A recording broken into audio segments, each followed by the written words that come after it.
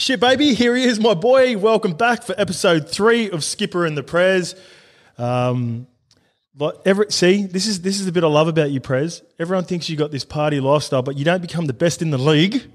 Fucking or, Origin winning series, uh, uh, Wally Lewis medalist, grand final winner, and then you're just getting after it. Your days off. You're not back in training yet, but you're still getting after it, baby. I love that shit.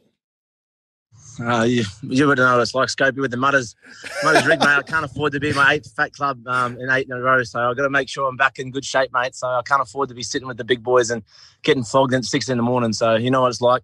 Is that legit? Have you been in the Have you been in the fat club? Because I know all about the fat club. Surely you've got. surely you've got the past. the last seven years straight. Have you? Oh, I love that about yeah, you. That's a that's a that's a good way. And we'll uh, let's hit the intro, Lukey. Tell me what you want and want. Let's. Tell me what you call and call. Let's go. This is where I do my best work, baby. Shit. Have you heard that before? We haven't done that before. no, I haven't heard. That's outstanding. yeah, that's the intro bar. Oh, um, how good. But before we start off, I just want to say uh, we're trying to reinforce now. Um, if you want to see all the content, um, especially me and Skipper in the Prez, this has become one of my favorite podcasts to do. Probably, actually, you know what? It's my favorite podcast to do. Um, you subscribe to the YKTR channel. Um, you know, the more subscribers we get, the more content we can put out for you guys like this. And um, I love doing it. So let's keep it going. Um, onto the Prez. i have got a little write up here quickly, but I think the first one's uh, easy, brother. Um, first and foremost, how you been? And let's start off. I've got a new theme this year too, brother. I want to start off with uh, grateful. So just I picked it up from the boys that always um, give them props for getting this started for me in 2021. What's one thing you're grateful for as of today, this year? Anything, brother? Um, oh, just grateful for, I guess, for the competition to get started.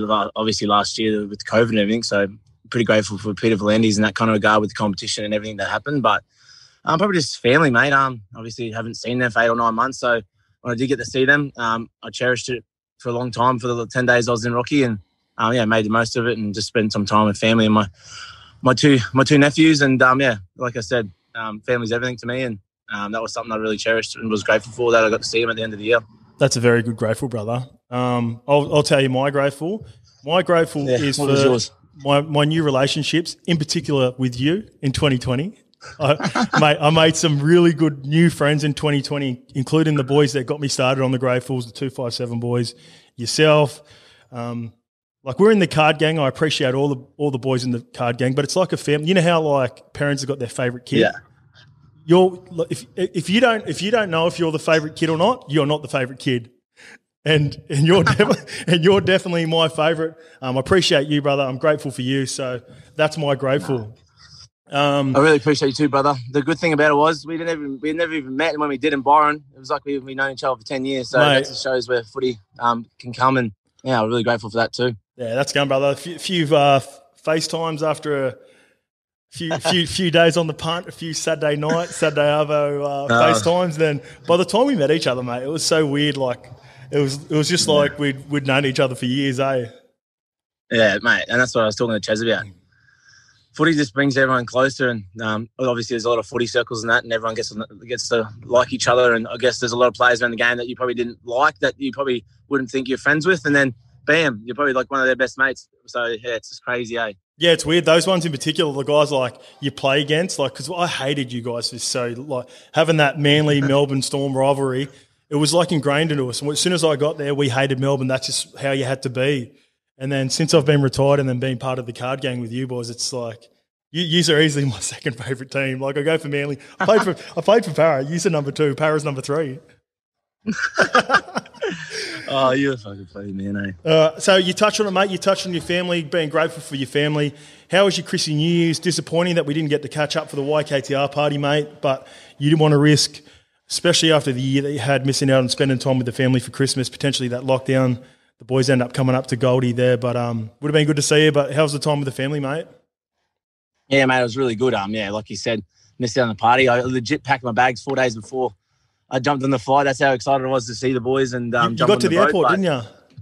Yeah, I got to the airport, and then um, yeah, Ice told me it was cancelled, and then um, I guess he uh, ended up rescheduling that night. So I think that was just pretty much an excuse for me not to jump on the plane. Um, probably didn't want to see me there, so that's understandable. But um, yeah, it was pretty devastated I couldn't see you boys, but yeah, um, family was was really good. Um, my partner and her family, and got to spend some time with my mum and dad, so it was really good. So yeah, really cherished it, like you said, with being grateful, and um, yeah, can't wait for 2020, and um, hopefully this COVID can go away so we can spend some more time together, baby. Let's yeah, go. That'd, be great, bro. Uh, yeah, even just like a couple of little golf days, hopefully.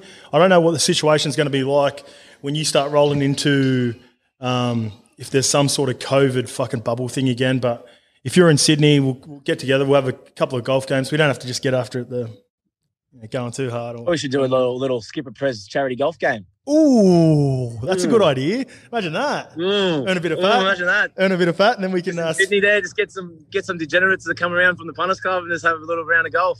Fuck, how good's that? Imagine if we had, like, you know what? That's a good idea. If if uh, if COVID allows it, and um, we go through all the right chains. We speak to Uncle Frank and uh, Coach Bellyache, see if we can get you an extra day to hang around and just have a game of golf or something. We'll, we'll see oh, if we can do something that. that. We'll, we'll take the cameras out and we'll vlog it. How about that? Yeah, and then if it gets any bigger, we can take them to Queenstown and go around the world, baby. Shit. Oh, shit, baby. You're thinking big. Huh? I'm thinking big.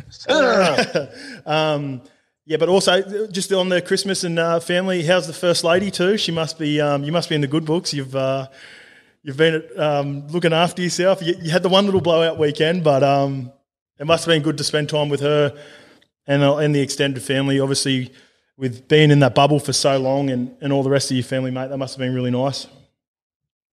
Yeah, it was good. Um, yeah, she's um, pretty much my rock at the moment. Um, I, I, think on Boxing Day I didn't really drink Christmas, um, so I kind of held on until Boxing Day, and I ended up going three days and didn't see her. So um, she rang me the next on the second half day and said, "Look, if you're not coming home, um, your bag will packed out the front." So obviously, me being a little coward, um, tail between my legs, went home and um, yeah, salvaged what was left. But um, yeah, it was a good um, yeah, it was a good three days. I love the first lady. I was filthy because she was supposed to come down for the YKTR party too, and we're finally going to meet. She's unfortunately been on the other end of a few of my FaceTime calls at fucking one in the morning. So yeah, it would have been nice to meet her, mate. You. All she does is talk about you. I can't wait. To, can't wait to meet her when um when we get the chance. Uh, moving forward to 2021, mate. Uh, when do you, first of all, when do you go back to when do you get back to training with the boys? I've seen a few of the videos of the boys. They look like they're doing it tough. They look like they're struggling a bit. Old old baby goats light all, all over the ground and with um, Coops and, and Smithy yesterday. What um, when do you yeah. get when do you get back? What are your do you have are you a guy that sets goals and um, yeah so yeah are you a guy that sets goals and what are you most looking forward to considering pretty much the end of an era obviously with with Smitty moving on I, I don't even know if that's fully confirmed but it seems like that's the case um, and you being probably the senior player with regards to the, the new look spine dynasty that could potentially be happening at Melbourne, mate. Yeah, really excited for obviously, like you said, the dynasty and that with Smithy maybe going. Um, it's not really confirmed yet, so we'll have to wait and see. Um, but yeah, it's obviously looking towards the future for us as a as a group, and yeah, really excited for the young blokes coming through. Papenhuyzen had a breakout year. Harry just showed what he can do in the Origin arena, and still got Brandon Smith there, the cheese, and I love playing with him. He just gives everything he's got. Um, and then you got Jahrome Hughes, who's probably the most formed player in the comp. So yeah, some exciting times for us as a group. Um, but yeah, um, I don't. I never used to set goals um, scope. So, but I did last year for some unknown reason, and yeah, I ended up ticking probably four of the five things that I wanted to do. Um, funny enough, that was um, win a premiership, win the Origin series. Um, the, fifth, the only fifth one I didn't get was my business degree that I wanted to finish. Yeah. Um, so I'm still working on that. But um, the other things was just um, obviously playing some decent footy and and that was something that I really was consistent about. Um, was really proud of buying a new car. Um, so that was something that I was really looking forward to as well. But um, yeah, mainly those those three big things was obviously win the comp, Origin series, and play consistent footy. Um, that was something that I really wasn't wanting to focus on. And back into the year, um, that was something that I was really good at. Start of the season, um, I was okay, but uh, yeah, I really hit my straps after I brought my knee back. Um, so yeah, fingers crossed I'm going to be injury free this year and and hopefully um, go back to back like the the Roosters did a couple of years ago. Yeah, for people, just touching on that bit, last little bit there, for people that don't know, mean, because because we, we become pretty close. I knew you were playing on. For people that don't know, you, the press probably won't say, but he was pretty much playing on one knee from the, the finals all the way through. I, mate, I knew you were struggling. You, you even talked about at one point. I don't know if you were joking or not that, that you're going to struggle to make play Origin. This is this is going into the grand final. I'm like, fuck, that, that's why I sort of had my concerns about the team, like whether you could beat Penrith because you had, you, were- you were carrying that injury, mate. So you, you must be stoked to just getting the body right. Have you? Those are some nice diverse goals that you had this year. Is it, have you ever thought about how do you top? How do you top last year? Like what do you s- what do you set this year? Clive Churchill, baby, what's up? No, look, that'd be nice, but Clive um, Churchill, yeah, um, or something? Nah, nah, that's actually that'll be something for my next goal. Um, now that Cameron Smith's gone, hopefully the baby goat doesn't take some points for me during the season. Um, in Papenhuyzen, but yeah, look, That's, the hardest thing about your team in the Um, years, eh? Even over the years, I can't believe like Storm. Sorry to cut you off, bro. Sorry, like Mel, like Smitty, Billy, and Cooper. Even in the past, and then yourself, like he's always taking points off each other. Yeah, well, that's the thing. Like those big three, they're playing at any other club. They probably have about five or six. To no disrespect to anyone in other club, there's there's some great players in the game, but if those three were playing at different clubs, mate, they probably all three of them probably would have tied for about four Dally M's at one to, at one point there. So, um, yeah, it's really it's really um, I guess proud and and I'm obviously really happy with the way the club's gone about with their culture and that and having them big three stay there. But yeah, um, it's going to be a tough ask for us to go back to back. Um, that's obviously not many teams have done it. So we've got the young, hungry team for us to do it, and we've got Jesse Bromwich that'll most likely probably captain the team, and he's an enforcer, and I'm sure that he'll get the bigger boys in the middle, um, playing playing well for himself. So yeah, I like to play under him and as a captain, and he leads from the front, and hopefully next year um, we can we can he can show that and and show, show showing our performance as well. Yeah, you've got you've got a nice a nice array of like mid to late twenties players at the moment. Like those are that's the that's the wheelhouse. Like I, I think if you're recruiting, um, you know, you want to have some nice youngsters coming through. But if I could get a good squad Yeah. of anywhere between like twenty three to twenty eight. If I was to coach, I think that's where I'd be aiming for, and I think you've got the perfect balance of that at the moment, like Yeah. including Well, yourself. no one really, no one really noticed with Christian Welch being out too in game two for us. Like he played game one and three, and Yep. he just does those little things for us. And I guess it goes unnoticed. And a lot of people watch the game, don't really notice that. Um, but when you play the game like yourself, you know the little things in those games really make a make a big thing. And um, that's what we really focus on at the club. And yeah, he's one of the he's really an improved player as well. And expect big things from him this year as well. Yeah, for sure. I think I, I I even thought about that. I think maybe last time we, we had a chat and we were talking about Origin. I remember leaving out Welshy when I was naming a few of the guys. Um, by far, like you know, I think him and Tino in particular, um, both played with He's you big guys and played us. Origin. He's going to be. I've got a really uh, high opinion of Tino, like like you probably do. Those two guys in particular, mate, they were unreal for you guys in both Melbourne Yeah, and, and Queensland. So I'm looking forward to seeing how they progress next year because, like you said, they sort of, you know, Welch has been around for a while, but Tino sort of jumped into the scene this year and, and really um, put his name out there. So looking forward to seeing those two guys. Yeah, excited as well, mate. Um, then you still got KP and Dave Fifita come back in that Queensland team too. So I don't know whether you're going to play them with AJ Brimson and the baby goat playing. So Well- the press might be the press might be on the side the side of the game watching. Please, please stop being so humble. You know what? I love when Oh, you be humble, but um, ya, there's some there's some good players getting around. Yeah, this mate. That in particular, the KP Brimo conversation. That's fucking. That's a legit conversation now. I think uh, Titans are really gonna. They're going to be my sneaky team this year. I think they're gonna they're going to sneak up on it. I think they're going to sneak up on a few people. They finished the year so well. Um, like I said, I've, I've got high expectations for Tino. I think people sort of forgot how good David Fifita is because of the, the year they had up at the Broncos and and, he's, and he had those injuries. So yeah, watch out for those Titans, baby. Mhm, I'm telling you, Jamal Fogarty will be improved again this year. So it'll be exciting to see them halves go again. Yep. Um, yeah, fucking oath. I'm yeah, I'm looking forward to seeing them. And you know what? There there is a vacant nine spot up there too. So be inter- it'd be interesting to Oh, see if shit. be interesting to see if there's any fucking nines out there. So we'll see what happens. Oh, interesting. Mm. Um, mate, well that that was good to chat. Uh, I don't know if you watched the ten in the can the other day, but I'm finishing off on a, a, a new question just to wrap it up. It's a it's a bit of a, it's a bit of a Hey. giggle. This one. Um, do you have, you got you got a sister, eh? Yeah, I got a sister. All right, you got a sister. So the question is, and I got this off, uh, like uh, it was like uh, the Minnesota Vikings were doing an interview after the game, and one of the players was going around asking asking the boys like, who out of the team? So this is out of your Storm team. We'll, we'll stick it to the Yeah. keep it to the Storm. Who out of the Storm would you least like to date your sister, and why? How many can I choose?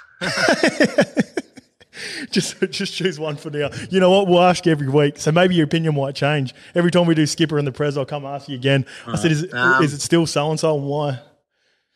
Uh, I'd probably have to say um, Cooper Johns, um, just because I know what he's like. Um, I know he's probably one of them guys that um, he's just a flirt. He's just a flirty man, and I think he just when he's out and about, I just think he just forget he'll have a girlfriend. I know, I know what he's like. It doesn't surprise me. So, um, yeah, he'd be the one Can that I would like to date my, uh, my sister, Yeah. especially when I see him walking into the front door. That I'd start shaking. I reckon. Well, you know what? I got mail too from speaking to a few of the boys. Like I was with Sexy Texie Hoy up um, and Oh, and Jackie Johns. text. Uh, and they were talking about Cooper growing up, and he wasn't always the most confident kid. Like he didn't always go well with the Shields, but since he's been down to Melbourne and hanging out with you boys, he's grown a leg and he and he's feeling himself at the moment. So um, Uh, he must be maybe he's getting a bit too mate, confident, eh? No, no, I, I, he's got a lot of confidence, mate, but I Yeah. like that about him. big big Sandy Sandy, Earl too, hanging out with you boys, just thinking he's killing Oh, it. Maybe mate, honestly, And you He's- know he's what? got that much confidence, mate. You know, rightly so. He's a good-looking rooster. he is, he is, and he's got a a good family family gene line. So gene line, does that make sense? does. Gene genealogy, whatever. I think he's Hungarian. He, he tosses up he's Hungarian anyway. Uh, all right, mate. And the last one is who would you let date your sister in your team and why? um, I'd, I'd have to say Dale Finucane. Um, he's just an up and down, straight up shooter. Um, Yeah. honest man, um, family man, and I just think he'd be the one that treat your, your sister right. So Mate, I reckon him. That's what you want, mate. That's what you want. And he goes, Hey. he goes good on the gat, can sing her a few songs, and Yeah, potentially exactly. Around the campfire, he'd be able to bring out a couple of bangers. how good's that? All right, brother. Well, was, uh, thanks for chipping in. Get back in your weight session. Thanks for uh, stopping that. We were at the time difference uh, up in Goldie, so I hit you up for 11 o'clock, but you didn't realise you're at the gym and you still come outside for me, mate. So I appreciate you. Love you, brother. Can't wait to speak to you Love again you too, soon. man. See you, Thanks, Prez. boys. Up, See you, brother. up to skip. See you, brother. Love you. Love you, brother. See ya.